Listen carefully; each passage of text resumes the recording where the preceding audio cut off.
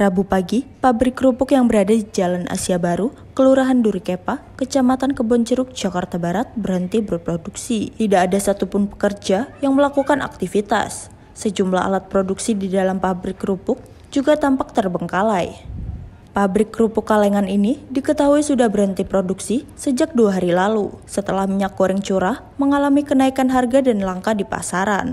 Sementara itu, menurut pemilik pabrik kerupuk, bila dirinya tetap memaksakan memproduksi dengan menggunakan minyak goreng kemasan dengan harga lebih tinggi, dipastikan akan merugi karena tidak masuk dalam kos produksinya. Tidak produksi atau tidak menggoreng itu sudah dua hari ya.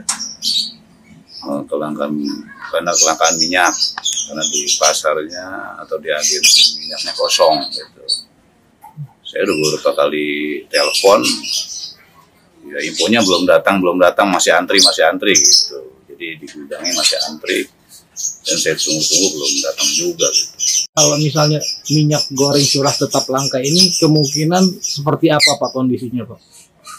Ya kita kalau memang minyak goreng ini nggak ada kemungkinan kita tutup total gitu karena memang biaya produksi untuk memakai minyak kemasan kita nggak nggak menutupi kos pembiayaan itulah biaya operasionalnya nggak menutupi gitu karena kan mahal minyak Bila pemerintah tidak bisa mengatasi tinggi dan langkanya minyak goreng, akan dipastikan sejumlah produsen pabrik kerupuk terancam guling tikar. Dari Jakarta, tim Sinpo TV melaporkan.